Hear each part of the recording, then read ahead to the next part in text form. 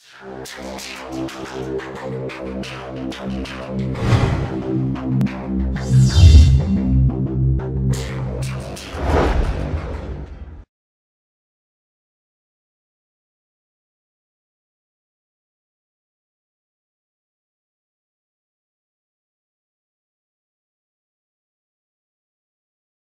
الله الرحمن الرحيم. السلام عليكم ورحمة الله وبركاته.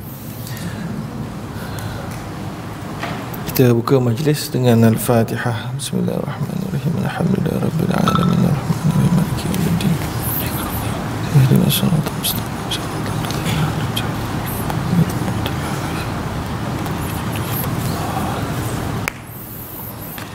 بسم الله الرحمن الرحيم الحمد لله رب العالمين والصلاة والسلام على أشرف الأنبياء والمرسلين وعلى آله وأصحابه أجمعين قال رب اشرح لي صدري ويسر لي امري واحلل عقدة من لساني يفقه قولي رب يسر ولا تعسر يا كريم اللهم لا سهل الا ما جعلته سهلا وانت تجعل الحزن والصعب اذا شئت سهلا اما بعد الحمد لله شكر قدر الله سبحانه وتعالى dapat kita bersama-sama dalam siri kelas talaqi uh, Bidayatul Mujtahid dan Talbis Iblis pada bulan ini setelah kita berehat selama sebulan hari raya ya. Jadi tak buat apa-apa kelas. Jadi kita meneruskan sesi kelas ini pada bulan ini dan insya-Allah akan disambung pada bulan-bulan yang akan datang biidnillah Maka pada bulan ini bersempena dengan Zulhijjah yang telah pun masuk Maka kita ambil daripada kitab Bidayatul Mujtahid Tajuk yang berkaitan Iaitulah kitab Dhahaya Satu bab yang menyatakan persoalan yang berkait dengan korban ya? Korban Jadi saya tidak akan pergi word by word Sebagaimana kita buat dalam bab puasa sebab kita nak habiskan topik ini dalam hari ini ya kalau biasanya kita buat word by word jadi kita tak sempat habis biasanya tapi hari ini kita nak habiskan kitab dhahaya daripada kita ini maka saya akan pergi dengan sepintas lalu dengan tidak meninggalkan inti utama dia iaitu perbezaan pendapat para ulama mazahib dan juga sebab ikhtilaf mereka kemudian habis ya tetapi kerana kitab Bidayatul Mujtahid ini sekali lagi dia adalah satu kitab yang ada fokus dia yang tertentu. Ya, dia bukan satu kitab yang mausu'ah orang kata. Mausu'ah ni maksud dia lengkap, komprehensif daripada A sampai Z dalam bidang-bidang tersebut. Dia satu kitab yang bertujuan untuk memahamkan penuntut-penuntut ilmu akan tata cara bagaimana ulama madhab berbeza dalam berijtihad secara ringkas. Dia bukan secara detail sangat. Kalau detail sangat tuan-tuan tak adalah uh, tebal macam ini kitab dia. Ya dia akan jadi lagi tebal. Tetapi secara ringkas untuk just nak memberi sedikit rasa kepada para penuntut ilmu bagaimanakah teknik dan kaedah para alim ulama berbeza pendapat dan daripada mana sumber dan punca dia Ha, jadi itu tujuan dia. Adapun falsafahnya Ibn Rushd itu itu tidak dalam question kita dalam perbincangan. Ya, ada orang duk menuduh Ibn Rushd seorang falsafah yang tak patut kita guna kitab dia. Ini adalah satu pendapat yang tidak ada kaitan dengan kita dan pengajian kita ya. Kita punya kelas mengambil kitab ini sebagai kita tahu kelebihan kitab ini memfokus kepada mendedahkan uh, wujudnya pelbagai pendapat dalam satu satu masalah dan itu akan membuka minda kita sebagai penuntut ilmu supaya lebih meraihkan pendapat-pendapat yang berbeza sebagaimana disebut oleh para alim ulama salafus salih antaranya Muhammad bin Sirin, Sufyan ats-Tsauri ya dan lain-lain. Man lam yatali' ala ikhtilafin nas lam yashum raihatal fiqh dia berkata kalau kamu sesiapa barang sesiapa yang tidak mempelajari pelbagai kepelbagaian para pandangan para alim ulama maka dia belum mampu mencium bau fiqah pun belum. So kita ni nak cuba cium-cium bau fiqah ni supaya kita dapat serap dia punya aroma dia yang selepas ini menjadikan kita seorang yang lebih steady lebih cool di dalam menanggapi pelbagai pendapat yang ada di dalam hukum hakam fiqah Islam. Tak cepat kita melenting, tak cepat kita melabel, tidak cepat kita bersangka buruk, tidak cepat kita menyesatkan orang. Maka itu antara tujuan dia yang sangat baik untuk menjadikan kita seorang wasati kita namakan ya? Sebab itu kita pilih kitab ini. Baik jadi sebelum kita pergi kepada kitab Dhahaya ni sebagaimana saya sebut tadi kitab ni tak komprehensif tapi nak bagi sedikit komprehensif kita mulakan dengan apa yang bukan ada dalam kitab ini iaitu ta'rif al-udhiyah ataupun jamak dia dhahaya iaitu apakah dia erti dan definisi udhiyah dhaha ya udhiyah. Iaitu udhiyah lughatan ini kita ambil daripada kitab Al-Fiqhul Islami wa Adilatu. Kitab yang mengumpulkan pendapat para alim ulama empat mazhab juga. Uh, Udhiyah secara bahasanya bermaksud satu nama kepada benda yang dikurbankan. Ya? uh, Au lama yuzbahu ayyama ainil adha Iaitulah ataupun apa-apa saja yang disembelih pada hari-hari Aidil Adha Hari Raya Kurban. Fal udhiyah Okey, dari sudut dari sudut erti fiqahnya pula hiya dhibhu haywanin makhsus biniyatil qurbah fi waqtin makhsus. Iaitulah dia saya dari sudut istilah fiqahnya udhiyah itu adalah sembelihan haiwan yang khusus dengan niat menghampirkan diri kepada Allah pada waktu yang makhsus pada waktu yang khusus. Ha, itulah dia yang disebutkan antaranya oleh Uh, dalam kitab Ad-Durul Mukhtar, Tabiinul Haqaiq dan sebagainya. Baik. Jadi dia telah pun disyariatkan oleh Allah Subhanahu Wa Taala tanpa sebarang keraguan dalam Al-Quran sebagaimana Allah kata fasalli li rabbika wanhar ya uh, maka Allah SWT sebut wanhar merujuk kepada udhiyah iaitulah nahr iaitulah sembelihan dan merujuk kepada sembelihan unta Ha, tapi unta punya sembelihan tak sama macam sembelihan lembu ha, dan ayam. Ya, sebab sembelihan unta ini dia binatang yang besar, dia dengan cara macam mencucuk leher dia ada teknik dia. Itu biasanya dinamakan nahr. Ya, iaitulah dikira sembelih jugalah. Baik, kemudian wal budna ja'alnaha lakum min sya'airillah. Wal budna iaitulah binatang yang dikhaskan untuk sembelihan. Ja'alnaha lakum kami telah jadikan ia bagi kamu sebahagian daripada ciri-ciri kebesaran dan keagungan Allah Subhanahu wa taala. Dan juga banyak lagi ayat-ayat yang lain iaitu antaranya la yanallahu la yanala Allah. Tidaklah Allah itu dapat min luhumiha wala dima'uha walakin taqwa minkum Tidaklah Allah mengkehendaki daripada sembelihan korban kamu darah atau dagingnya tetapi adalah takwa di dalam hati kamu.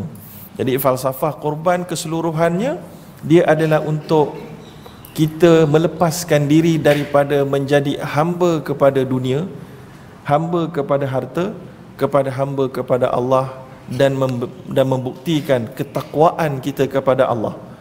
Ha, itu dia korban. Baik, daripada hadis pula disyariatkan membuat udhiyah ini daripada hadis Aisyah radhiyallahu taala anha. Ma amila ibni adam yawman nahri amalan ahabbu ila Allah taala min iraqatid dam.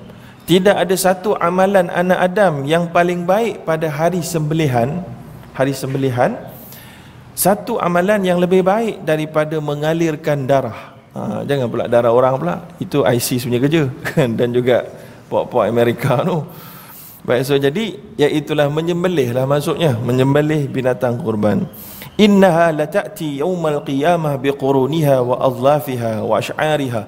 Nanti binatang kurban ini akan datang pada hari kiamat dengan dia punya tanduk dia dengan dia punya bulu-bulu dia semua ya. Dengan darah-darahnya. Wa inna dam la yaqa'a min Allah bi makani qabla an yaqa'a al-ard fatibu biha an fatibu biha nafsan. Maka nak sebutnya darahnya ya dikira mengampun diampunkan dosa. Sebagaimana dalam satu hadis yang lain disebutkan apa nama tu awwal qatratin minad dam. Sebelum darah yang tu mengalir jatuh ke bumi lagi maka telah diampunkan dosa kita. Ya? Ha, sebab itu bila korban mestilah binatang tu sihat segar bugar. Jantungnya sihat supaya bila kita sembelih dia betul-betul denyutan jantung dia memancutkan seluruh darah-darah dalam tubuh dia binatang tu akan menjadikan pancutan itu akan menjadikan darah daging-daging dia bersih. Eh, tahan lama. Ha, jadi kalau dah darah-darah ni dia ada mengandungi toksik racun. So jadi apabila dia uh, tersimpan di dalam daging tu maka dia akan cepat rosak. Maka sebab itu binatang yang tak berapa bermaya ya jantung dah bergerak tak berapa hayah mustaqirah nama dia tak boleh. Tak cukup syarat lah. Baik. Dan kemudian telah pun ijma' wa ajma'al muslimuna ala masyru'iyatil udhiyah. Telah pun ijma' para ulama dan juga para sahabat tentang uh, keharusan dan perlu buatnya uh, udhiyah ini. Wa inha sunnatu ibrahim dan dia juga adalah sunnah yang ditunjukkan oleh Nabi Ibrahim alaihi salam yang mana wafadainahu bi dhibhin azim ya Allah kata Nabi Ibrahim telah pun Allah berikan ganti arahan menyembelih anaknya itu dengan menyembelih kibash. Lalu Nabi Ibrahim telah lulus tes daripada Allah menyayangi manusia lebih daripada Allah telah tidak berlaku pada Nabi Ibrahim. Walaupun anaknya Nabi Ismail itu sangat dicintai tapi tetap dia boleh untuk menuruti arahan Allah sebab Allah lebih dicintai berbanding anaknya sendiri. Ha, jadi kalaulah anak pun boleh di Uh, di, di, di, di, disembelih untuk menunaikan tanggungjawab Allah menunjukkan tidak ada yang lain dalam hatinya. Jadi demikianlah falsafah yang kita nak juga dapat daripada ibadah kurban yang kita lakukan. Kemudian wal hikmatu min tashra'iha. Hikmah daripada pensyariatannya adalah untuk mensyukuri Allah SWT di atas segala nikmat ya dan juga tadi untuk menghilangkan dosa dan juga yang kita sebut untuk melepaskan diri kita daripada uh, cinta yang melampau kepada selain Allah khususnya harta ya khususnya harta. Dan kemudian uh, Imam Ahmad berkata annal udhiyata afdal min as-sadaqah biqimatiha sesungguhnya apa nama tu sembelihan korban ini lebih lebih utama daripada sedekah biasa yang kita lakukan menggunakan duit biasa dan seumpamanya. Baik, habis dekat situ. Sekarang kita masuk kitab Bidayatul Mujtahid. Al-babul awal bab yang pertama fi hukmi dhahaya wa manil mukhatabu biha iaitulah poin yang dia pilih untuk dibincangkan yang pertama pada hukum melaksanakan sembelihan kurban. Dan siapa yang ditujukan untuk melaksanakannya? Ikhtalafal ulama fil udhiyah. Ulama berbeza pendapat di dalam hukum menyembelih kurban. Hal hiya wajibatun am hiya sunnah? Dia wajib ataupun sunnah. Fa dhahaba malikun wa syafi'i wa ahmad maka imam malik imam syafi'i dan imam ahmad berpendapat innaha minas sunanil muakkadah. Sunat yang dituntut sahaja. Sunat yang dituntut. Wa rakhasa malikun lil hajj fi tarkiha bimina tetapi imam malik berkata bagi orang yang uh, menunaikan haji dia bolehlah uh, meninggalkannya. Ya? yeah?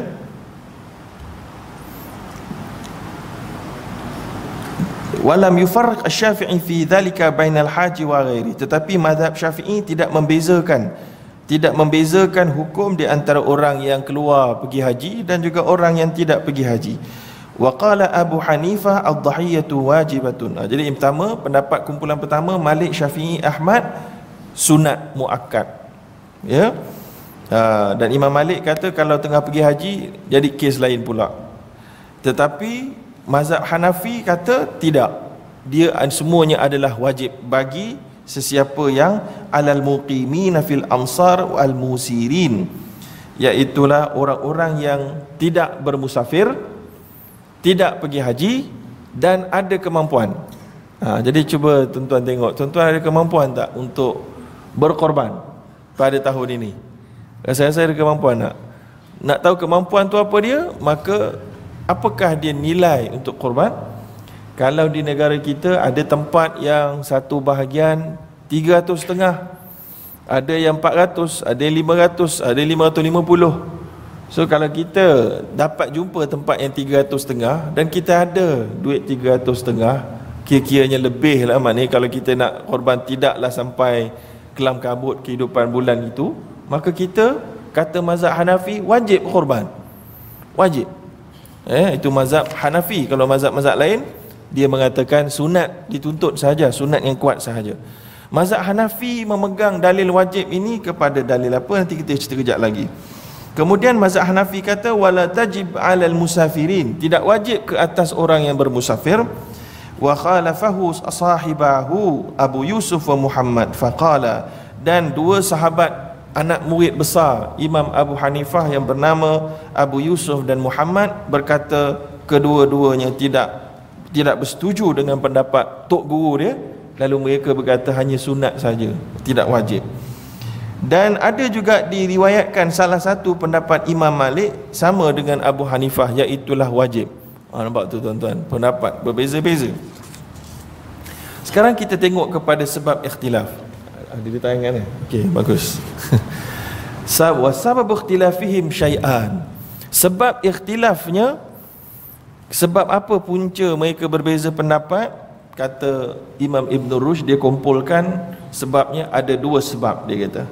Sebab yang pertama ahaduhuma hal fi'l hal fi'luhu alaihi salatu wasallam alaihi alaihi salatu wasallam fi dhalika mahmulun ala wujub am au ala nadab dia kata yang pertama iaitulah pada menentukan perbuatan nabi di membawa hukum wajib ataupun hukum sunat. Ha, jadi apabila Nabi buat satu benda, dia boleh buat dua maksud. Satu sunat, yang kedua wajib.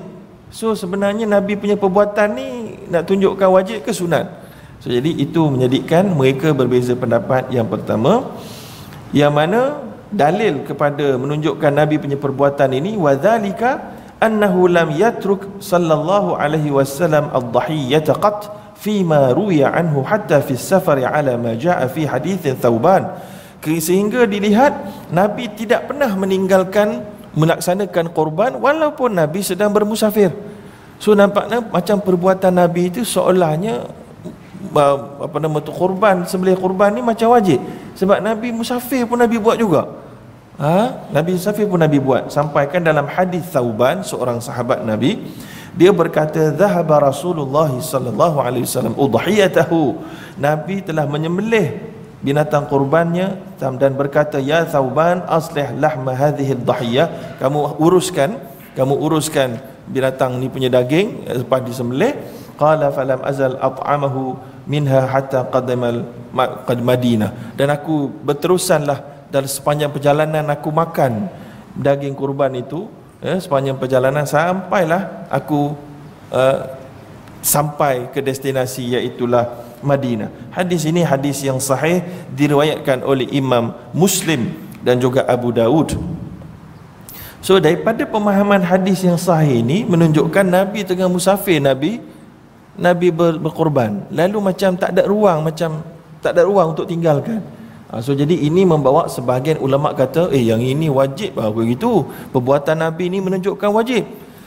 Sebab yang kedua ikhtilafuhum fi mafhumil ahadith al-waridah fi ahkamil dhahaya iaitulah perbezaan eh, perbezaan ijtihad mereka dalam memahami maksud hadis yang ada dalam hukum-hukum ini iaitulah wa dzalika annahu thabata anhu alaihi salatu wasalam min hadis Ummu Salamah annahu qal. Iaitulah daripada hadis Ummu Salamah. Siapa Ummu Salamah? Isteri Nabi yang kuat cemburunya. Kan? Sebelum kahwin dia kata dia kuat cemburu. Kan? Tapi bila Nabi doakan maka cemburunya pun terubat. Ha, jadi isteri kuat cemburu doa. Insyaallah. Akan tuan-tuan. Ya? Baik Baik, idza dakhala al-ashru fa arada an fa arada ahadukum an yudhhiya fala ya'khudh min sya'rihi shay'a wala min azfari. Dalam hadis yang diriwayatkan oleh Ummu Salamah ini, hadis ini disebutkan oleh uh, Abu Daud, At-Tirmizi, An-Nasa'i, Ibnu Majah, tetapi Bukhari tak masukkan dalam kitab dia. hadis ini tahap dia bukan tahap dia punya maksud dia idza dakhala al-ashr apabila telah masuk 10 hari pertama Zulhijjah kita dah masuk atau belum tuan-tuan? Dah masuk. Fa arada fa arada ahadukum an yudahi. Dan telah seorang kamu berniat untuk menyembelih. Ada di antara tuan-tuan yang telah pun menempah bahagian untuk menyembelih? Kalau sudah dan sekarang sudah masuk satu Zulhijjah maka hukum dia fala ya'khudhu min sya'rihi syai'a wala min azfari. Maka janganlah kamu uh, memotong rambut kamu apa-apa pun dan jangan juga kuku kamu apa-apa juga. Ha, jadi hukum ni kita bincang sekejap lagi tapi kita nak ambil aspek hadis ni dari sudut hukum wajib atau sunat. Uh, potong potong rambut dan potong apa nama tu uh, kuku ni kejap lagi kita bincang. Tapi hadis ni kat mana dia punya wajhud dalalah wajhud dalalah tu dekat mana? Target point yang menjadikan kita nak faham wajib atau sunat iaitu perkataan nabi idza arada ahadukum. Kata Imam Ibn Rush bila mana nabi kata sekiranya ada seseorang kamu ingin maknanya kalau tak ingin pun boleh jugalah. Ha tu nak cerita tu. Maknanya idza arada ahadukum ayyudahi maknanya apa kalau ada kamu nak ber, berkorban. Kalau yang tak nak tu maka macam tak ada masalah. So jadilah hukum ni hadis ni membawa erti sunat lah maknanya tak wajib. Ya. Baik, fihi dalilun ala anna dhahiyata laysat wajibah laysat biwajibah maka itu menunjukkan tak wajib walamma amara alaihi salatu wasalam li li Abi Bardah eh? dalam satu nuskah menyebut lama amar alaihi salatu wasalam Aba Bardah bi i'adati udhiyatahu idzu biha qabla as-salah. Kerana Nabi pernah juga menyuruh Abu Bardah seorang sahabatnya untuk mengulang sembelihan korban kerana dia buat sebelum solat hari raya. Apa? Hari raya Aidil Adha nanti tak boleh orang duk pergi sembelih sebelum solat. Tak sabar-sabar sangat. Ha, lambat sangat tu imam datang biar aku sembelih dululah. Tak boleh. Ya? belah berlaku pada zaman Nabi maka Nabi suruh dia ulang balik sembelih. Wah nak ulang balik parah juga. Nak booking mana pula? Lembu dengan kambing kan? Ha, tapi nak cerita bila Nabi suruh ulang balik itu tengoknya macam eh kalau sunat tak ulang balik pun tak apa. Ini Nabi suruh ulang balik eh macam wajib je. Ha, bukan macam cantik je. Macam wajib je tuan-tuan kan? Ha, so jadi itu nak cerita fahima qaumun min zalika al-wujub. Maka atas akibat itu sebahagian ulama termasuklah Hanafi mengatakan wajib sebab kalau sunat Nabi tak kisahlah tak sah pun tak apa bukan ada apa bukan wajib. Tapi ni bila Nabi suruh ulang ah ini nampak macam wajib ya? Tapi sebenarnya pendapat itu boleh dicuba dikiaskan kepada pendapat lain yang tak begitu kuat. Iaitulah contohnya benda sunat pun boleh juga kita ulang. Betul tak ha, contohnya sahabat Nabi telah pun sabit dia mengulangi solat witir. Apabila dia selalu buat solat witir tiba-tiba dia tinggalkan. Dia tinggalkan sebab dia bangun lewat. Maka lepas subuh dia solat. Nabi pun nampak dia solat lepas subuh. Patutnya tak boleh solat dah lepas subuh tak ada kaitan lah Nabi pun tunggu je. Dia habis solat, Nabi tanya kamu solat apa? Dia kata aku solat qada witir. Sejak ni benda solat sunat, benda sunat pun boleh qada, maka benda yang melibatkan salah sembelihan pun boleh juga ada. Ha, maka itu hujah-hujah ulama yang mengatakan sunat muakkadah itu tak ada dalam kitab ni. Ya. Dan mazhab Ibnu Abbas, mazhab Ibnu Abbas. Siapa dia Ibnu Abbas? sahabat Nabi yang paling pandai dalam mentafsirkan Al-Quran yang kita telah tahu didoakan oleh Nabi sallallahu alaihi wasallam sejak kecil lagi. Maka dia kata tak wajib. Ha, dia pun kata tak wajib. So jadi jumhur tadi ni kalau nak tengok siapa kan mazhab sahabat Nabi yang di follow Ibnu Abbas radhiyallahu taala anhu. Baik, kemudian yang bawah tu tak berapa penting pendapat-pendapat yang uh, sambahan saja kita lompat saja ya. Yeah. Okey, sebenarnya kita pergi kat sini. Waqtalafu hal yalzam alladhi yuridu tadhhiyah alla ya'khudha min al-ashr al-awwal min sya'rihi wa azfarih. Ya. Uh, maka para ulama mereka berbeza pendapat. Kalau kita nak sembelih ni dah masuk hari ni, masuk awal Zulhijjah ni, boleh tak kita bercukur janggut ke misai ke ya potong kuku ke maka hadis tadi tu wal hadithu bidzalika thabit hadis yang disebut tadi tu hadis yang thabit maka menurut pendapat Maliki dan Syafi'i ha, tuan-tuan mazhab Syafi'i ke ha, dalam mazhab Syafi'i dan mazhab Maliki yakrah dimakruhkan tak haram makruh sahaja dibenci akhdhu syai'in min sya'rihi wa adfarihi wa harramahu Ahmad wa abahahu Abu Hanifah dan mazhab Hanbali kata haram. Oh, Hanbali syadid ni. Kan? Mazhab Hanbali kata tak boleh. So maknanya kalau masa tu misai dan masuk kat dalam air pun biar je lah tuan-tuan. Masa tu kalau kuku dah panjang terlebih pun kira biarlah sebab haram kalau kita potong. Ya. Kalau mazhab Abu Hanifah pula tak apa, potong pun tak apa. Harus saja untuk memotong rambut, memotong apa nama tu janggut, misai dan kuku tidak ada apa-apa masalah. Baik, so jadi tuan-tuan nak potong atau tidak? Ha, jadi kes dia sepatutnya kita bersedia lah Masuk satu rizal kita dah pastikan kuku-kuku kita pendek eh? Maka jalan yang paling selamat adalah tidak memotong Betul tak? Sebab yang tak memotong Ada yang kata makruh, ada yang kata haram, ada yang kata harus Kalau kita tak buat Kita selamat tak dari semua pendapat Selamat kan? Kalau kita buat, kita selamat ikut Hanafi dan makruh ikut maliki ya dan haram ikut hambali ha, kalau kita tak buat selamat belaka ha, tapi kalau tuan-tuan rasa tak selesa sangat tiba-tiba dah terlupa nak terima awal-awal maka dah masuk tunggu tunggu punya tunggu ya Allah dah panjang sangat kuku ni tak elok makan pun tak sedap buat apa pun tak selesa. Ha, potonglah tak boleh buat apa lah tu. Eh itu bolehlah eh. Tapi sebaiknya tuan-tuan kita merancang daripada awal. Habis. Itu bab yang pertama. Bab yang kedua. Bab yang kedua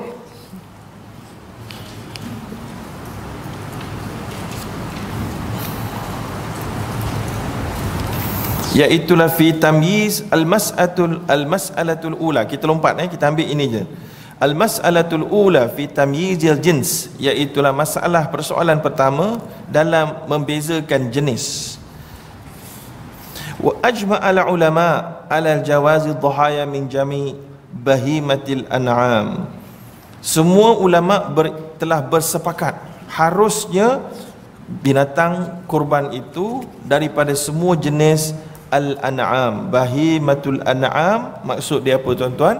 Binatang berkaki empat yang kira-kira jinak. Ya binatang berkaki empat yang jinak. Uh, maknanya ayam masuk tak ayam? Ha, ayam kaki empat ke tuan-tuan? Uh, ayam tak kaki empat. So kaki empat adalah unta lembu biri-biri kambing ya uh, itu semua kaki empat bahimatul an'am dan juga dinamakan apa nama tu al-an'am rimau rimau uh, rimau yang bunuh seorang pemuda dekat dekat India baru ni kaki empat tu Ha, Kimau masuk anak am tak? Sebab apa tak masuk? Makan orang? Bukan. Sebab al-an'am asal perkataan dia na'am, na'umah. Binatang kaki empat yang jalan secara ayu. Tu ayu. secara slow, slow, slow. Ha, eh? Ha, jadi tapi ke bawah laju juga lari kan? ha, tapi tabiat dia lari tabiat dia slow rimau pun slow juga tak rimau biasa kehidupan dia dia pergi memburu dia pergi berlari dengan kencangnya ya ha, so macam apa nama ada orang buat masuk gambar rimau tengah di apa uh, apa nama tu Discovery Channel ke apa Animal Planet kan ha, tengoklah kerja dia berlari kerja dia mencari makan so dia bukan al-an'am dia bukan al-an'am Piala Am ni yang jalan secara slow motion, cool, ya. Yeah? Ha, biasanya. Yes. Apa dia? Uh, Mike Tyson. Lambo Bison semua sekali. Wallahu alam kalau dia masuk dalam kategori yang telah pun kira dijinakkan, kira okeylah, masuklah. Ya, dan dia masuk dalam jenis-jenis bakar, jenis-jenis lembu eh, kerbau dan seumpamanya yes Ha? Kuda. Allah Akbar. Kuda eh. Kuda dia berjalan slow ke? eh? Ha, dia kaki berlari juga. eh? Ha, wallahu alam kuda. Bagus soalan tu. Ha, tapi saya pun tak berapa nak pasti jawapan dia kan. Baik. Kemudian tak apa kita tengok. Waqtalafu fil afdal. Tetapi mereka ulam uh, di Ibn Rushd dia tak bincang jenis semua jenis sebab dia bincang yang paling afdal. So bila yang paling afdal tak bincang lah kuda ke Mike Tyson ke apa. Ah, Bison. uh, dia nak bincang yang paling afdal kamu tumpu pada yang paling afdal ni saja. Baik, waqtalafu fil afdal min dhalik dan mereka berbeza pendapat. Dia kata maka Imam Malik dulu. Sebab apa asyik mula dengan Malik saja? Ibn Rushd kan mazhab Maliki. Dia utamakan mazhab dia lah, ya. Fadhahaba Malikun ila anna al-afdal fi dhahaya al-kab al-kibash. Dia kata yang paling utama untuk disembelih untuk biasa korban kibash dulu. Ah, kibash ni apa benda biri-biri lah lebih kurang lagu tu, eh. Thummal baqar diikuti dengan lembu, kemudian diikuti dengan al-ibil iaitu unta. Ya bi aksil amri indahu fil hadaya. Iaitu secara tersebaliknya kalau orang membuat hadyu. Hadyu iaitu orang pergi haji nak sembelih. Ya, ikut hadyu dia mula dengan ibil dulu, atau bakar, lepas tu kabaish, atau kibash. Tapi kalau dhahaya orang yang tak pergi haji dia mula dengan kibash, kemudian bakar, kemudian ibil. Dia terbalik ha, ya. Wa qad qila anhu ya al-ibil. Ha, tetapi ada juga diriwayatkan mazhab maliki juga berpendapat bermula dengan unta lembu dan kibash. Tetapi pendapat ini tidak muktamad dalam mazhab maliki. Wa dhahaba syafi'i wa ahmad dan mazhab syafi'i dan mazhab hambali ila aksi ma dhahaba ilaihi malikun fi dhahaya iaitu dia sebaliknya. Ha, cuba jadi mazhab Maliki lain dengan mazhab Syafi'i dan Hambali. Hambali dan Syafi'i mula-mula ambil yang paling besar dulu. yang paling besar dulu, yang paling bagus untuk kamu sembelih. Iaitulah al-ibil dulu, unta. So kalau surau ni contohnya nak sembelih unta, orang surau ni pun tak reti kan. Uh, boleh cari tapi tak reti nak sembelih unta kan. So jadi tak reti kita ambil lembu je lah. Kemudian lembu, kemudian barulah kibash wa bihi qala ashab wa ibnu sya'ban. Dan itulah juga pendapat ashab dan juga ibnu sya'ban yang merupakan ulama-ulama di dalam ulama di dalam mazhab maliki. Tu dia berpendapat dengan mazhab yang lain pula. Baik. Sebab ikhtilaf. Sebab ikhtilafihim. Kenapa mereka berbeza pendapat? Mu'aradatul qiyas li dalil al-fi'l wa dhalika annahu lam yarwi anhu alaihi salatu wasalam annahu dhaha illa bikabshin uh, dia kata bercanggahnya kias dengan dalil perbuatan nabi. Dalil perbuatan nabi. Iaitulah tidak ada diriwayatkan nabi sallallahu alaihi wasallam uh, menyembelih selain daripada kibash. Fakana dan dhalika dalilan ala anna al-kibash fi dhahaya afdal maka itu sudah tentu menunjukkan itulah kibas yang paling baik untuk disembelih. Sebab Nabi sentiasa memilih kibas Nabi tak ada pilih lembu. Nabi tak ada pilih unta Nabi pilih kibas kata Ibn Rushd. Ha, tetapi pendapat ini sebenarnya ha, ini tak ada dalam buku tu pendapat ini sebenarnya kurang tepat. Ha, nampak? Alim ulama macam mana pun tuan-tuan kita ni manusia ada overlook ada tak perasan ada tercecer, ada terlupa. So, terlupa, tercecer, tersalah ini tidaklah mengaibkan. Ya, dan tidak patut dibesar-besarkan kumpul semua keaiban Ibn Rushd di dalam bidang betul mujtahid. Satu, dua, tiga. Oh, orang buat lagu tu yang aibnya. Uh, yang kita duk baca pula, kita pun rasa pandang rendah pada Ibn Rushd. Samalah kita pun bermasalah. Ya, sebabnya sebenarnya diriwayatkan ada riwayat contohnya Al-Ghumari ada berkata dalam kitab sahih. Dua-dua sahih ada. Anna Rasulullah sallallahu alaihi wasallam dhaha an nisa'ihil baqar. Nabi telah pun menyembelih bagi isteri-isterinya lembu. Ada? Eh? Nabi menyembelih lembu dan diniatkan untuk isteri-isterinya Kemudian dan dalam Sunan Al-Baihaqi juga ada dinyatakan Nabi sallallahu alaihi wasallam kana yudahi bil Madinah bil jazur ahyanan wa bil kabshi idza lam yajid al jazur. Nabi menyembelih unta jenis ada jenis dia dan kadang-kadang dan kadang-kadang nabi menyembelih kibash. So jadi ada nabi menyembelih binatang-binatang lain selain daripada kibash. Lalu dakwaan ibnu rush ini kurang tepat. Ya tapi tak apalah dia nak bawa sebab sebab dia berpendapat tak ada itulah menunjukkan kibash itu yang terbaik. Kemudian wadzalika fi ma dzakara ba'd an-nas wa fil Bukhari dan dalam dalam sahih Bukhari daripada Ibnu Umar ma yadullu ala khilafi dzalik. Uh, wa huwa annahu qala kana Rasulullah. Okey sorry sorry. Saya minta maaf tarik balik. So Ibnu Rush dia tahu. Dia bukan tak tahu dia tahu Ibnu Rush kata tetapi ada riwayat dalam Al-Bukhari dan juga Abu Daud dan An-Nasa'i daripada Ibnu Umar menunjukkan bercanggahnya sebab itu. Jadi ini maknanya bukan Ibn Rushd punya pendapat. Ibn Rushd duk kopi daripada pendapat ulama yang menyokong kibas yang terbaik. Ulama yang menyokong kibas yang terbaik itu kata sebab Nabi tak ada diriwayatkan menyembelih selain daripada kibas tapi Ibn Rushd hanya menakalkan. Ah ini ini satu benda yang penting dalam menakalkan dalam kitab ya iaitulah kita kena baca habis. Barulah kita boleh tulis. Sebab itu dalam disiplin buat tesis masters atau PhD ke ya dan juga di dalam berhujah walaupun dia ada dalam kitab dalam kitab Ibn Rush dia bukan Ibn Rush cakap. Dia Ibn Rush bawa masuk untuk didiskusikan tapi kalau kita potong konteks dia kita akan dapat tengok macam saya tersalah tadi. Ha, saya ngakulah. Ha, sebab saya pun tak adalah baca dulu banyak sangat. Lepas tu, tu nampak kat bawah tu. Menunjukkan bahawa Ibn Rush tidak bercakap ini. Ini Ibn Rush mengambil hujah ulama yang kata kibas yang terbaik.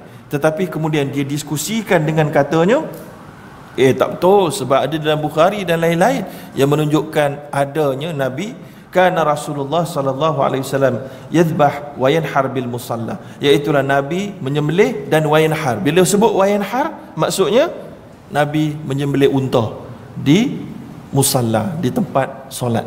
Ha, di tempat solat. Sebab sebab sebenarnya tempat solat ni adalah tempat yang paling baik untuk kita berkorban lah. Ha, macam orang kita buat lah surau ni buat kat belakang masjid buat kat tepi masjid. Ya, ok dah tu betul. Ya? jangan buat dalam masjid pula. Ha.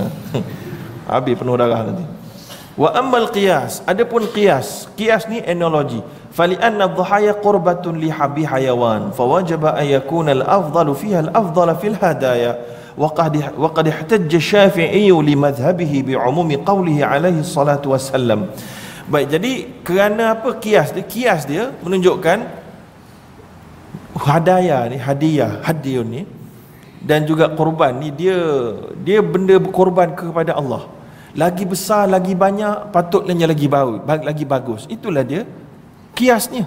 Analoginya lagi besar lagi banyak lagi bagus. Maka kerana itulah mazhab syafi'i berhujah dengan umum dalil hadis Nabi man raha fi sa'atil ula faka'annama qarraba badana wa man raha fi sa'ati thaniyah faka'annama qarraba baqarah wa man raha fi sa'ati thalithati faka'anna qarraba kabshan hadis yang diriwayatkan oleh Al-Bukhari dan Muslim. Barang siapa yang ada kerihatan maknanya ada ke, ke, kelebihan harta yang tahap yang paling banyak maka dia bolehlah dia apa nama tu uh, menyembelih merapatkan dia dengan Allah dengan menyembelih badanah. Benda yang besarlah eh. Kalau dia pada waktu yang kedua atau pada level yang kedua maka bolehlah dia menghampirkan dirinya kepada Allah dengan menyembelih bakarah lembu. Kalau tahap yang ketiga punya kemewahan ataupun ada duit lebih maka bolehlah dia menghampirkan diri dia pada Allah dengan mengorbankan kapshan uh, kibash. So jadi maknanya ada rintitan dia ada tahap awal tahap satu dua tiga. Fakana wajib hamla hadha ala jami'il qurab jamal qarb bil hayawan. Ini adalah maka wajib untuk kita gunakan semua eh, benda-benda semua apa nama ranking ini aturan ini untuk menghampirkan diri kepada Allah bila nak menggunakan haiwan. Wa amma malik fahamalahu alal hadaya faqat. Tetapi mazhab maliki diguna untuk guna hadyun untuk pergi haji saja. Li alla yu'aridul fi'lul qawl wa huwa al aula ya? Dan semoga menjauhkan uh, bercanggahnya perbuatan Nabi dengan perkataan Nabi maka itu lebih lebih utama lebih kuat lebih baik. Ya? Uh, maka jadi supaya itulah dia mazhab maliki sebab apa dia berpegang pendapat tu sebab dia tak nak adanya percanggahan. Uh, waqad yumkinu an yakuna li ikhtilafihim sababun akhar. Ya, ada juga kemungkinan sebab ikhtilaf mereka datang daripada sebab-sebab yang lain. Iaitulah hal dhibhul azim alladhi fada bi iblis sunnatun baqiya ila al-yawm wa innal udhiya wa inna dhalika ma'na wa tarakna alayhi fil akhirin. Faman dhaba ila hadha qala al-kaba'ish afdal. Okey. Sesiapa yang mengatakan kaba'ish ataupun kibash afdal juga ada juga dalil sokongan yang lain iaitulah apabila Nabi Ibrahim menyembelih Nabi Ibrahim menyembelih kibash maka adakah sunnah Nabi Ibrahim menyembelih kibash itu kekal sampai kita maknanya dia punya kehebatan keutamaan dia kekal sampai hari kiamat sebagaimana firman Allah wa tarakna alaihi fil akhirin. Dan telah kami tinggalkan daripada pengalaman dan sunnah para anbiya silam itu kepada orang-orang yang selepasnya. Maka kita lah antara yang selepasnya. Maka adakah sampai? Kalau sampai maka kibashlah juga. Sebab Nabi Ibrahim menyembelih kibash. Faman ra'a anna dhalika laisa sunatan baqiyah. Barang siapa yang menganggap bahawa itu tidak merupakan satu sunnah yang terberusan sampai hari kiamat maka dia mengatakan tidaklah menjadi keutamaan kita meletakkan nombor satu kibash. Ma'annahu qad thabata anna rasul sallallahu alaihi wasallam bil amraini jami'an. Ya, sedangkan kita dapat lihat telah sabit daripada Nabi berkorban dengan menggunakan binatang-binatang kibash dan lain-lain sekaligus jadi ini menunjukkan sunnah Nabi Ibrahim itu kekal. Tetapi Nabi Muhammad punya lebih dekat dengan kita dan lebih perlu kita ambil sebagai keutamaan. Kemudian wa kulluhum majmu'un ala annahu la tajuzu dhahiyata bighairi bahimatil an'am. Kemudian para alim ulama semuanya bersepakat semuanya bersepakat tidak harus untuk menyembelih selain daripada bahimatul an'am ya maka boleh tak sembelih ayam contohnya ha? boleh tak sembelih ayam Nanti eh, saya tengok saya ada satu tempat saya lompat tadi saya rasa ada satu pendapat yang boleh menyembelih ayam. sembelih ayam memang boleh. Boleh tak masuk dalam sunnah kurban. Eh, sembelih ayam tak dapat kurban tetapi dia dapat apa yang kita namakan pahala usaha. Eh, berusaha. Tapi dia tak namakan kurban dalam idhiyah. Hmm? ya ittafaqal ulama ulama bersepakat udhiyah la tasih illa min na'am iaitulah unta lembu jamus ganam eh, ma'az pun masuk sekali eh, bisa iri anwa'iha yang betina atau jantan sama sahaja ya uh, okey nanti kejap saya lihat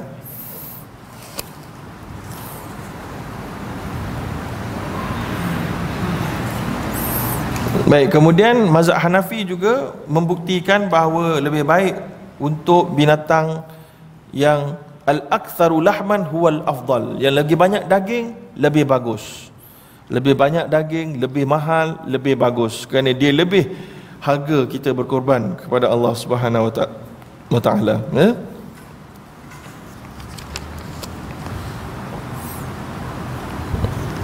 Okey, habis. Kemudian fi tamyizi sifat. Okey, sifat ni dengan umur saya lompatlah tuan-tuan eh. Ha, sebab ni kan nanti pening pula kita kita tak banyak sangat berkaitan dengan tu. Baik, sekarang kita masuk al-mas'alatur rabi'ah. Ha, tengok Mustafa, musta'ala mas'alatur rabi'ah fil adad. Wa ammal mas'alatur rabi'ah, persoalan yang keempat yang nak dibincangkan, kita lompat dua bahagian, ya. Dia sudah sudut umur semua sekali itu wahya adadun ma yujza bihi yujza min ad-dhahaya 'anil mudahhin fa innahu mukhtalafu fi dhalika iaitulah bahagian jumlah yang boleh untuk seekor binatang berkatalah mazhab maliki dan juga disokong oleh mazhab hanbali yajuzu ayyadhbah ar-rajulu kabsha awil baqara awil badana mudahiyan an nafsihi wa an ahli baitihi alladhi talzimuhu nafaqatuhum bi dia kata harus seseorang menyembelih seorang lelaki menyembelih seekor kambing atau seekor lembu atau unta ya yeah? Uh, untuk dirinya dan juga ahli keluarganya yang semuanya termasuk di bawah tanggungannya. Masuk bawah tanggungannya. Jadi mak ayah tuan-tuan masuk di bawah tanggungan tak? Ha, tak masuk kan? Ha, tak masuk maka tak boleh lah patutnya. Ha, begitu eh? so anak dan isteri tuan-tuan bolehlah dimasukkan. Wa kadzalika indahul hadaya. Dan begitu juga pendapat maliki dalam bab hud hadyun wa ajaza syafi'i wa abu hanifah wa jama'atun an yanhara rajul badana an sab' dan mazhab syafi'i dan abu hanifah dan sebahagian lain berpendapat boleh dan harus untuk seorang menyembelih ha, menyembelih lembu atau menyembelih apa nama tu unta. Satu ekor unta seekor seekor ekor lembu untuk tujuh bahagian. Ha, sebab tu yang kita tujuh tujuh bahagian ni satu bahagian lima ratus ringgit ada empat ratus ada lima ratus setengah dan seumpamanya. Wa kadzalikal baqaratu mudhiyan atau muhdiyan. Wa ajma'u ala anna al-kabsh la yujzi illa an wahid. Tetapi telah bersepakat seluruh ulama kambing tak boleh dibahagi-bahagi. Lembu unta boleh bagi. Yang kecil uh, kambing tak boleh bahagi sebab dia kecil dah. Ya illa ma rawahu malik an min annahu yajzi ay yadhbahu ar-rajul an nafsihi wa an ahli baitihi la ala jihati syirkah bal idha ishtarahu mufradan tetapi mazhab maliki ada pelik sikit dia kata masih boleh niat saja, niat. Kalau beli kambing, seorang saja, suami je beli kambing, tak beritahu langsung apa-apa pada isteri dan anak. Ya, boleh masa dia sembelih itu dia niatkan untuk dia dan untuk ahli keluarga dia. Boleh. Tapi maknanya bukanlah sembelihan itu semuanya dapat, tak. Pahala tu dikongsikan dengan ahli keluarganya. Ya. Uh, kerana apa? La apa ni? la ala jihati syirkah tapi bukan maknanya satu ekor tu dia punya bahagian satu isteri dia satu anak dia tak ada dia seorang je tapi pada sudut uh, bal ishtarahu mufradan dia beli seorang-seorang maka dia sembelih tu pahalanya itu ya telah terbukti daripada hadis riwayat Aisyah. Aisyah berkata kunna bimina kita berada di Mina dekat Mekah tu. Fadukhila alaina bilahmi baqar. Faqulna ma huwa? Maka tiba-tiba dibawa pada kita daging lembu. Maka kami bertanya ni apa ni? Faqalu dhahha rasulullah sallallahu alaihi wasallam an azwaji. Nabi telah pun menyembelih untuk isteri-isterinya. Hadis sahih bukhari dan muslim. Ha, maknanya ada kes bukan kes ada bukti bahawa nabi menyembelih dan diniatkan untuk orang lain selain daripada dirinya sendiri tetapi orang di bawah tanggungannya. Wa khalafahu fi dhalika Abu Hanifah wa Thawri ala wajhi al-karaha la ala wajhi adam al-ijza. Tetapi mazhab Hanafi dan Thawri berpendapat tak boleh dikongsikan tetapi dari sudut tidaklah haram tapi tidaklah tidaklah tak sah tetapi dia kata hanya makruh sahaja kenapa mereka berbeza pendapat? Kerana yang pertama mu'aradatul asli fi dhalika lil qiyasil mabni alal atharil warid fil hadaya. Kerana bertembungnya asal dalam asal hukum dengan kias yang dibina di atas dalil yang had, yang wujud dalam kes sembelihan haji ya. Wa dhalika anna al asla huwa alla yajzi illa wahid an wahid hukum asal dalam bab kurban satu orang satu. Habis cerita.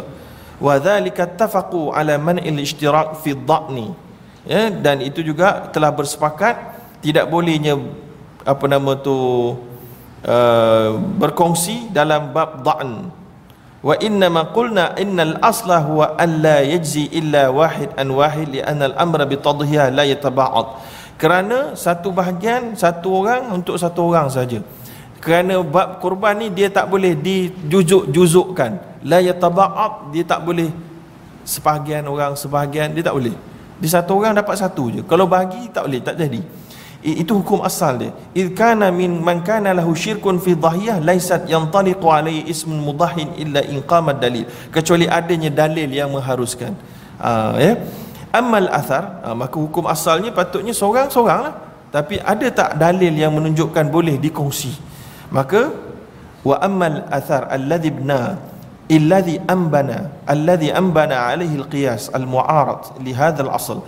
Dari adapun ada wujudnya dalil yang dibina di atas kias yang bercanggah dengan asal ini adalah apa yang diriwayatkan daripada Jabir seorang sahabat annahu dia berkata nahatna ma'a Rasulillah sallallahu alaihi wasallam amal Hudaybiyah al-badnah an sab' kami pada pada zaman pada kami telah menyembelih ya seekor binatang korban unta badanah pada tahun Hudaybiyah dan kami bahagikan kepada tujuh hadis sahih riwayat Muslim dan Abu Daud dan Tirmizi.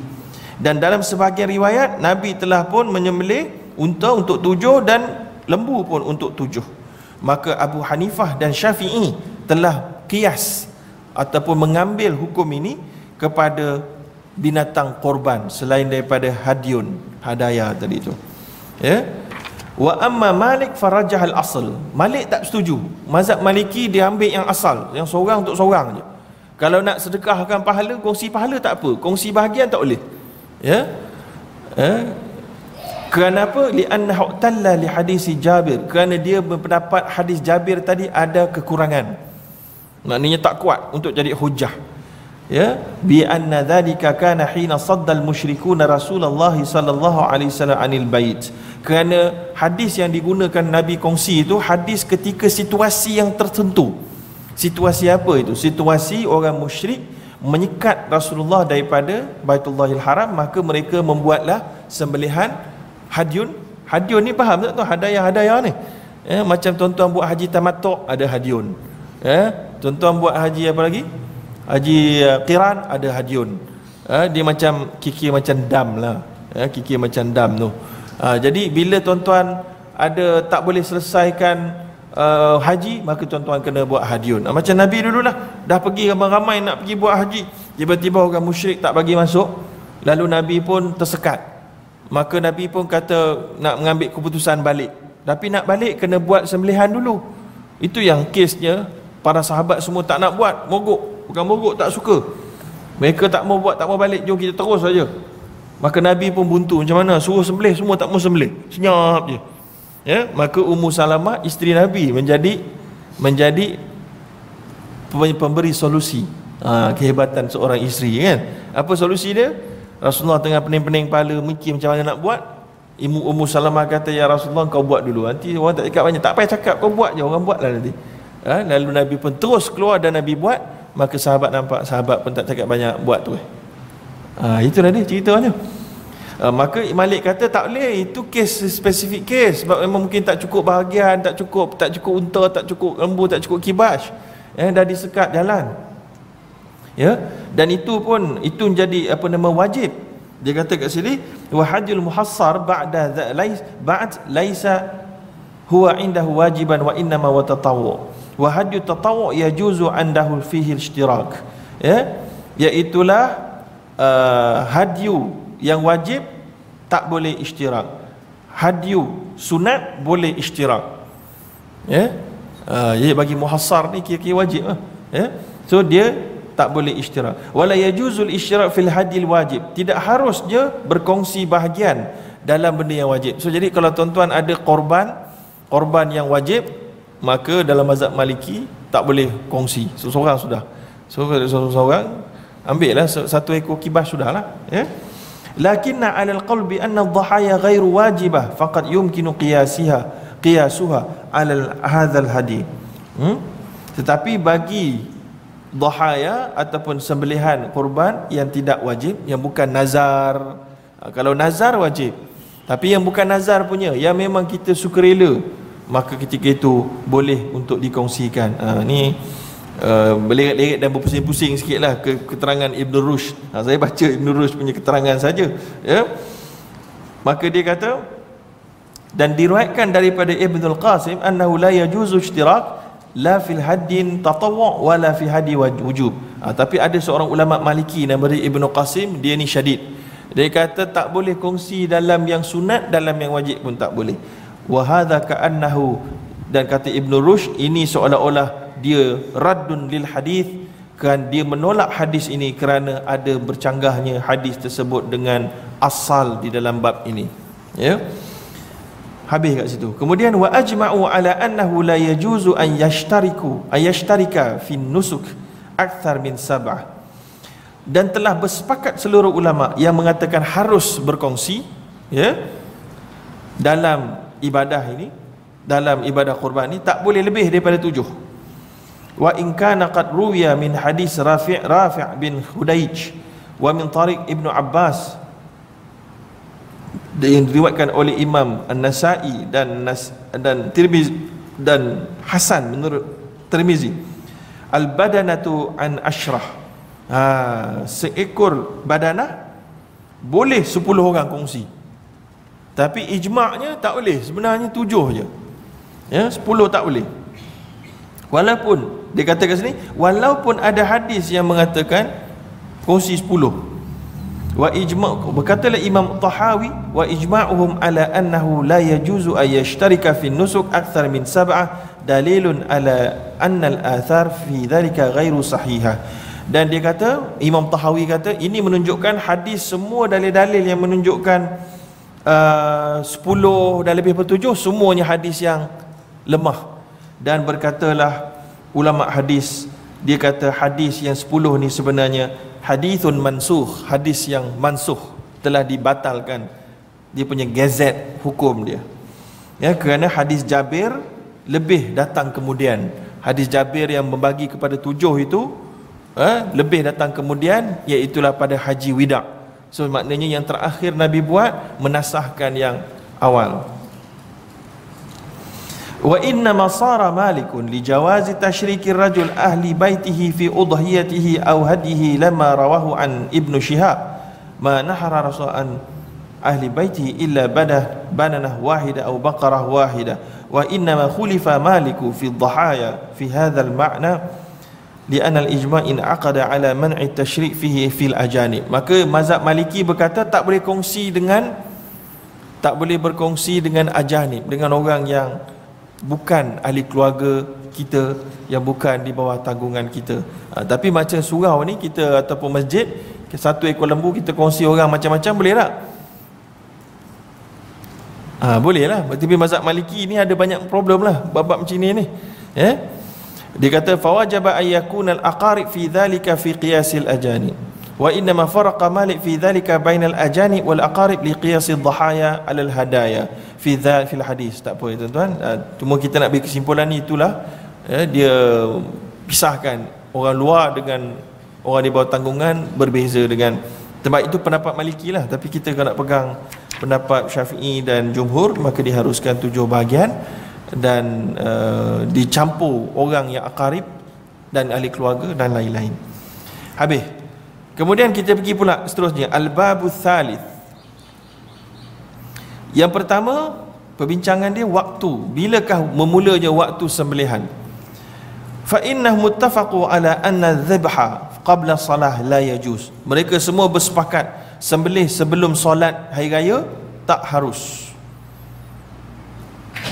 Ya, li thubuti qawlihi alaihi salatu wasallam iaitulah dengan sabitnya hadis Nabi yang berkata man dhabha qabla salati fa innama hiya syatu lahmin Sesiapa yang menyembelih sebelum solat Dia adalah daging biasa kira Ya dia bukan kira korban Dia kira, kira daging biasa je lah ya, Sedekah biasa ya, Itu hadis yang sahih Bukhari dan Muslim.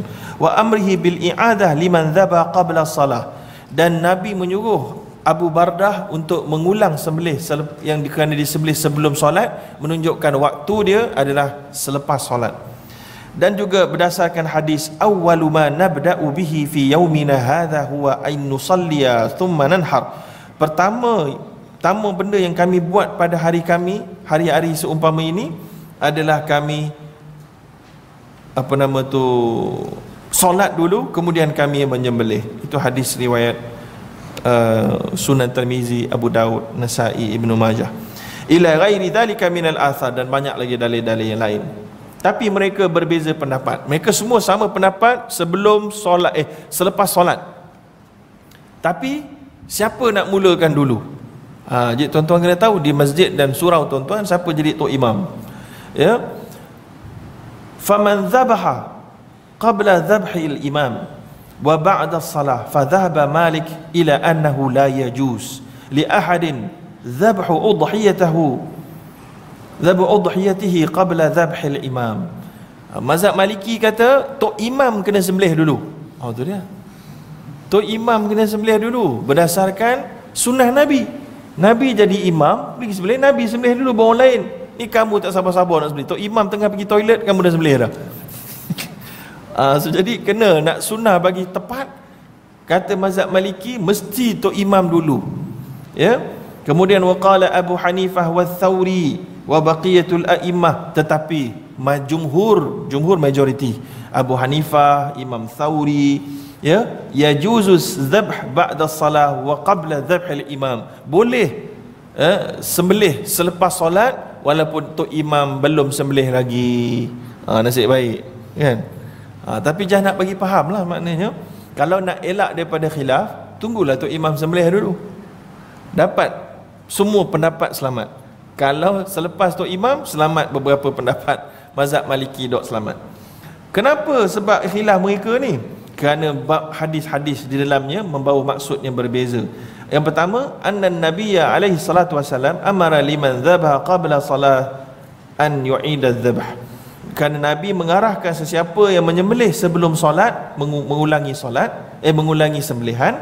Dan dalam sebahagian riwayat siapa-siapa yang menyembelih sebelum sembelihannya, nya tu nya Rasulullah, hendaklah dia mengulang balik solat, eh mengulang balik sembelihan dia. Ha, jadi bila Nabi suruh ulang balik itu ada riwayat tapi dia tak sebutkan. Uh, mana dia kata kharaja hadzal hadis alladhi fihi hadzal makna muslim. Dia kata ada satu hadis yang ada membawa makna ini daripada hadis muslim. Saya tak sempat nak cek sama ada betul wujud dalam sahih muslim. Nabi meng- meng- mengarahkan orang yang menyembelih sebelum nabi sembelih untuk ulang. Faman ja'ala dhalika mawtinaini ishtarata dhahabu al-imam fi jawazi dhalik wa min ja'ala dhalika mawtinan wahidan qala innama yu'tabar fi ijza'i dzibh as-salah. Siapa-siapa yang menjadikan dua syarat tu tadi iaitu dua tempat. Tempat yang pertama lepas solat. Yang kedua lepas tu imam. Maka dia jadikan syarat tu imam tu lah. Maka siapa-siapa yang ambil satu saja tempat yang menjadi poin sah sembelihan iaitu selepas solat maka bagi mereka tu imam sembelih atau tidak tidak menjadi apa-apa isu dan kemudian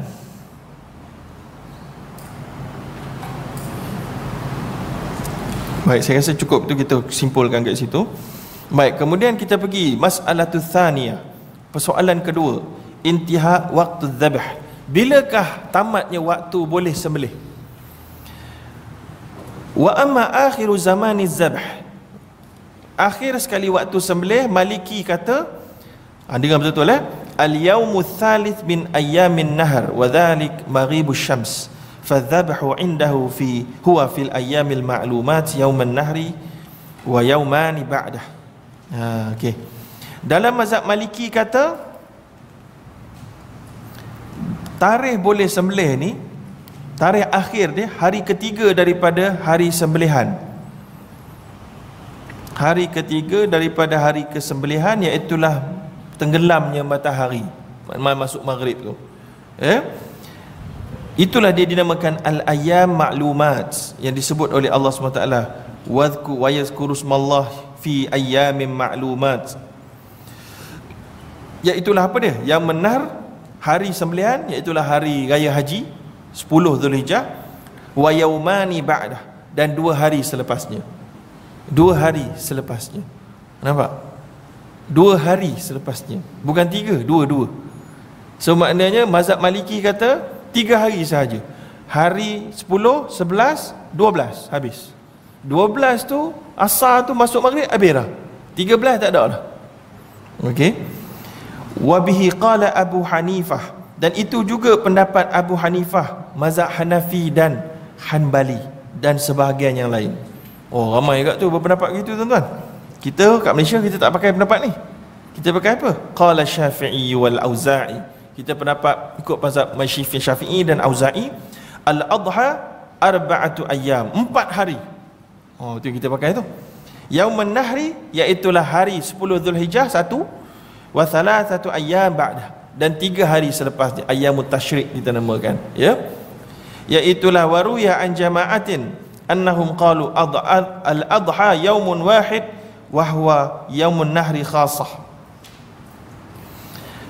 dan lagi ada satu pendapat yang lagi pelik. Lagi pelik tuan nampak? Banyak pendapat yang pelik eh bukan orang calang-calang eh? bukan orang-orang biasa. Dan sebahagian ulama kata dia kata sembelih ni boleh satu hari sahaja. Iaitu hari raya Idul Adha 10 Zulhijjah. Full stop. Ha, ini pendapat siapa ni? Ibnu Sirin. Muhammad Ibnu Sirin punya pendapat. Ha, so jadi kalau tuan-tuan kita nak selamat kita sembelih 10 hari bulan. Selamat semua tuan-tuan.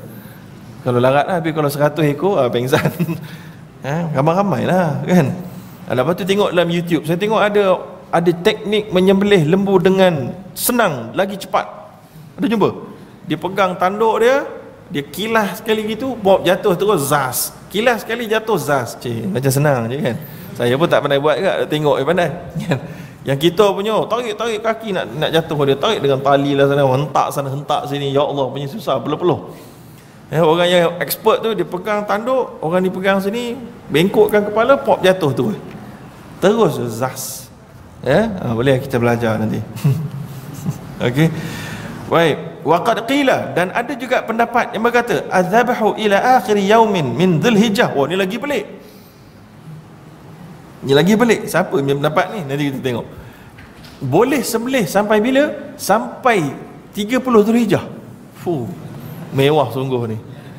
Sebulan. Wah ini orang Melayu tiru ni seraya sebulan ni Eh, 30 Zulhijjah pun boleh. 29 Zulhijjah boleh lagi. Siapa yang pendapat? Imam An-Nakhai. An-Nakhai. An-Nakhai ni tabi'in. Kibar tabi'in. Bukan ni, bukan Ustaz Nakhai kat kita zaman kita ni. Bukan. Imam An-Nakhai, eh, satu geng dengan apa dia Ibnu Sirin zaman-zaman dia, Atha bin Abi Rabah semua semua geng-geng dia. Um, ulama mujtahid juga ni. Dia kata sampai 30 30 Zulhijjah. Wa huwa syadzun. Ibnu Rushd punya komen, wahwa syadzun ini semua pendapat ganjil. Pendapat ganjil la dalil alaih. Tak ada dalil semua ni dia kata. Wa kullu hadhil aqawil marwiyatun anis salaf. Tetapi ada pendapat-pendapat ni diriwayatkan daripada sebahagian salafus soleh eh? So jadi apakah disebab ikhtilaf mereka? Yang pertama kerana mentafsirkan perkataan ayyamil ma'lumat. Dalam firman Allah ليشهدوا منافع لهم ويذكروا اسم الله في أيام معلومات في أيام معلومات على ما رزقهم من بهيمة الأنعام So ayat suratul hajj Ayat yang ke-28 ini menyebut tentang uh, Mengingati Allah ya, Pada hari-hari yang maklum Dan juga menyembelih apa yang Direzekikan kepada kamu daripada jenis binatang-binatang bahimatul an'am. Faqila makiniah dikata sebagiannya kata hari raya dan dua hari selepasnya inilah dia uh, itulah dia maksud ayamul maklumat dan sebagian lagi kata 10 awal Zulhijjah semuanya ayamil maklumat dalam konteks yang berbeza. Sebab yang kedua mu'aradatut dalilul khitab iaitulah bercanggahnya dalil dengan ayat dalam ayat ayat tadi ini dengan hadis Jabir bin Mut'am. Iaitulah kullu fijajin Makkah manhar wa kullu ayyami tashriq dhabhun. Nabi sebut dalam satu hadis yang menyatakan setiap bahagian Mekah ini boleh disembelih. Maknanya boleh dijadikan tempat sembelih manhar. Dan setiap hari tashriq tashriq adalah waktu boleh sembelih. Zabhun boleh sembelih. Ya? So jadi ini menunjukkan bahawa hari tasyrik ada tiga. Sebelas, dua belas, tiga belas. Kan? Maka sebab itulah mazhab syafi'i punya pendapat maka berdasarkan hadis ini menunjukkan bahawa telah diring, di, dilimitkan ayamul maklumat yang kalau lah ada pendapat ayamul maklumat itu sepuluh hari maka telah pun dilimit kepada empat hari ini saja faman qala fil ayyamil ma'lumat innaha yawmun nahri wa yawmani ba'dah fi hadhil ayah rajaha dalilul khitab fiha ala al hadithil madhkur qala la nahra fiha illa fi hadhil ayyam Sesiapa yang berpendapat bahawa ayamul maklumat itu adalah satu hari raya dan dua hari selepasnya, maka dia berpendapat bahawa dalil ayamul maklumat dalam ayat Quran tadi itu inilah dia. Iaitulah tiga hari. Wa man ra'a al-jam'a bainal hadis, sesiapa di kalangan ulama yang nak menggabungkan di antara hadis Nabi dan dalil Al-Quran, lalu dia kata tidak ada pencanggahan ya? tidak ada pencanggahan di antara keduanya. Idil hadis iqtada hukman zaidan ala ma fil ayah. Ya? Kerana dia kata hadis punya hukum ni dimaksud hukum tambahan ya? penjelasan pendetilan ma'annal ayah laisal maqsud minha tahdid ayyam dzabih dan ayat Quran pula tidak membawa maksud untuk melimitasikan berapa hari yang boleh disembelih dia hanya sebut umum ayat hadis ni dia bawa satu hukum mentaksiskan yang umum tadi itu sahaja. Ya, ya. Baik, kemudian yang seterusnya tidak ada khilaf di kalangan para ulama ayamul ma'ludat adalah ayam tasyrik. Uh, iaitulah tiga hari selepas hari hari hari raya. Dan itu kecuali apa yang diriwayatkan daripada Said Ibnu Jubair dia berkata hari raya min ayami tasyrik. Iaitulah yaumun nahri 10 Zulhijjah hari tasyrik. So 3 hari tasyrik 10 11 12. Ha ini yang mazhab Maliki pegang juga. Baik habis. Kemudian masalah yang seterusnya boleh tak sembelih pada waktu malam? Ha ya. Iaitulah mazhab Maliki berkata tidak harus sembelih pada waktu malam hari-hari tasyrik dan juga malam hari raya. Hari raya itu maknanya 10 bulan malam tu tak boleh. Dan Syafi'i dan sebahagian lagi ulama termasuklah Abu Hanifah dan Hambali ya boleh tapi makruh. Malam boleh tapi makruh. Kenapa mereka kata tak boleh dan kenapa ada yang kata boleh kerana berbeza mereka memahami perkataan al-yaum di dalam al-Quran sebab bila sebut al-yaum orang Arab digunakan al-yaum al-yaum hari membawa erti malam dan siang Kadang-kadang al-yaum bermaksud mal ha, siang saja. Ya malam tak masuk.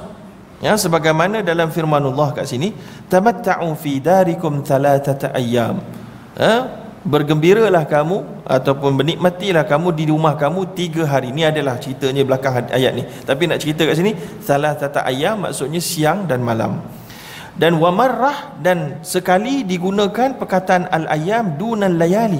Sebagaimana iaitulah ayam ni siang saja tak masuk malam sebagaimana firman Allah sakharaha alaihim sab'a layalin wa thamaniyata ayamin husuma Allah bezakan tujuh hari tujuh malam dan lapan hari. Hari itu bukan hari siang maknanya lapan siang. Maka ini menunjukkan Allah asingkan. Ayam itu menunjukkan siang. Bukan ayam A Y A M ayam. Ayam bahasa Arab maksud dia hari-hari. Faman ja'ala ismul ay ismul yaum yatanawal laili wan nahar sesiapa di kalangan ulama yang berpendapat bahawa al yaum itu bermaksud malam dan siang maka harus sembelih pada waktu siang dan malam itulah dia pendapat majoriti uh, khususnya kalau kita hari ini kalau kita nak sembelih malam dan tak ada masalah lampu semua semua tak ada masalah bolehlah dan mungkin banyak sangat kan dan bagi mana-mana ulama yang kata al yaum itu macam ayat dalam surah uh, Al-Haqah tadi ayat ketujuh tadi iaitulah malam dan Allah siang pengguna ayam maka siang saja boleh. So nak selamat macam mana? Sembelihlah siang sahaja. Habis. Yes. Ya? La yajuz maksudnya tidak yujzi, tidak sah. Tidak sahlah kurban itu. Maka dia jadi sedekah. Ya, tak dapat pahala mudhiyah.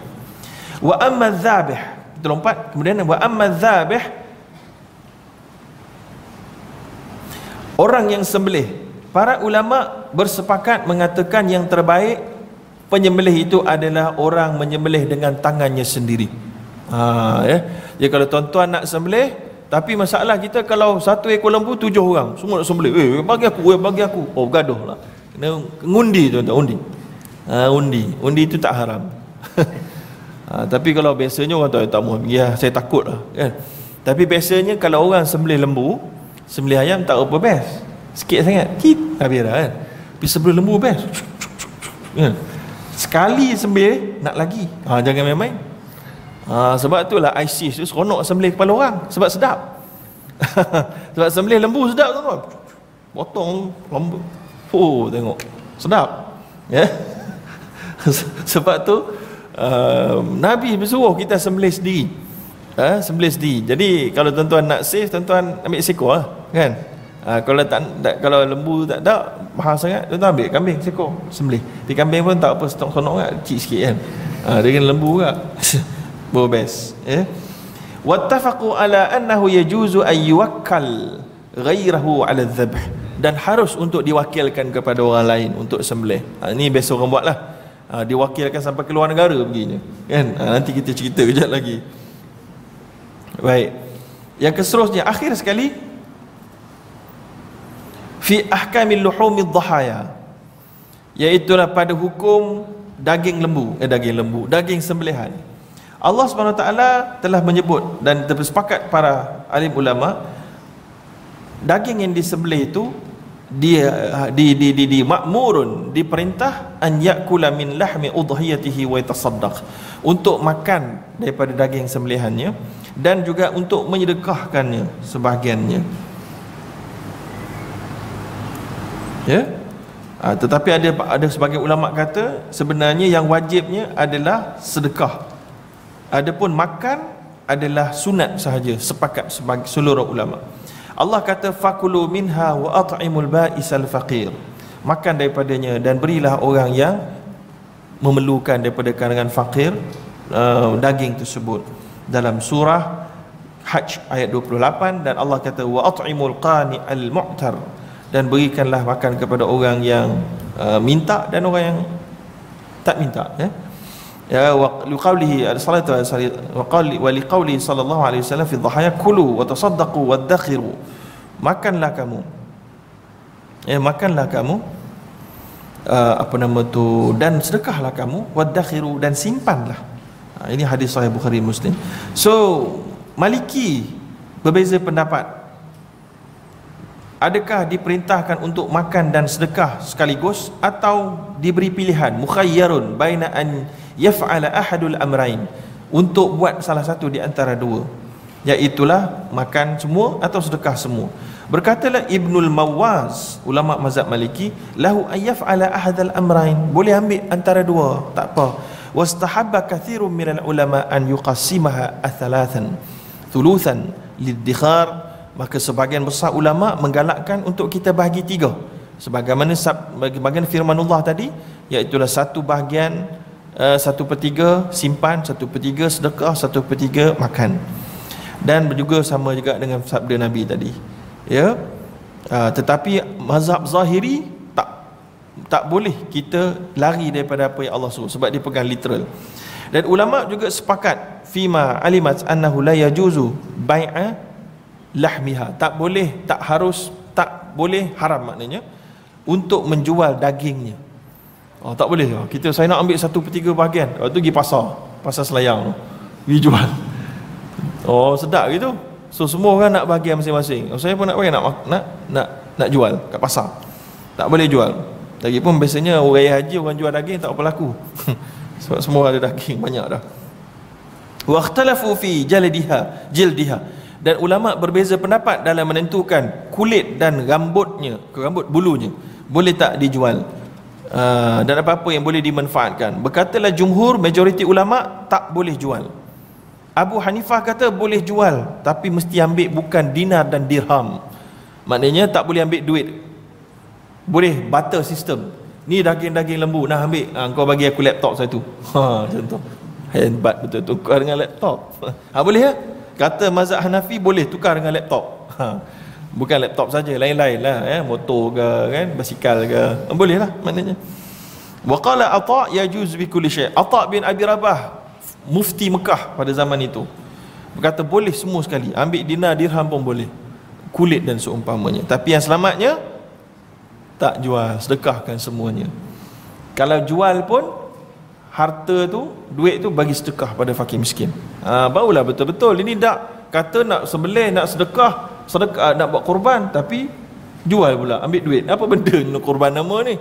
Kalau tak ambil daripada daging pun jual kulit ambil ambil duit jual daripada kulit. Eh kata kurban kurban semualah kan? Ini nak ambil pula. Ha, jadi maknanya tak berapa cantik lah baik habis. Itulah dia. Wahadal qadr kaf fi qawaid hadal kitab